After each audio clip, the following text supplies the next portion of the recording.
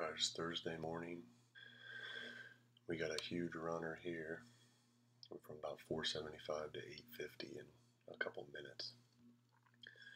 And uh, I shorted it after this large wick and the red crack at about 767.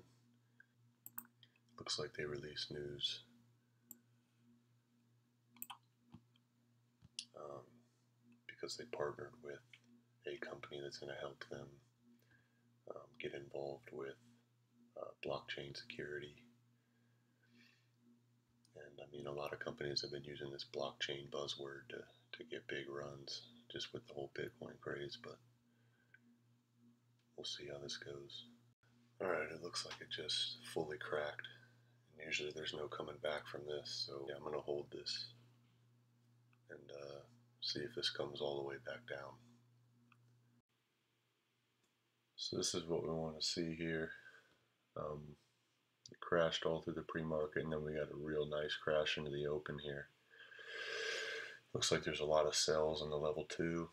It's just a strong pullback and usually when it's something this steep and dramatic it'll end up where it started or even lower.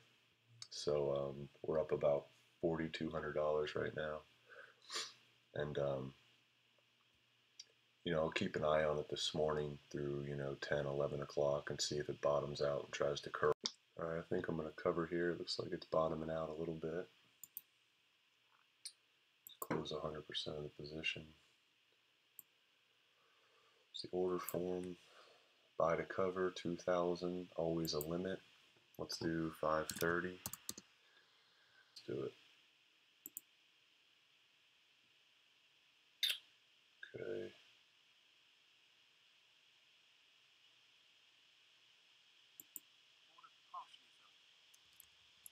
Order filled. All right, so we're we're out, and we made forty-seven, pretty much forty-seven fifty. Um, so this morning we sold two thousand at seven sixty-eight up in here, near the top, and then we uh, we just covered right in here, and it's probably going to go further down. You see, it's there's a lot of sellers here on the ask on the level two, and not that many buyers. So it's probably going to keep going. But I mean, when you're up 4,700, it's it's nice just to lock that in.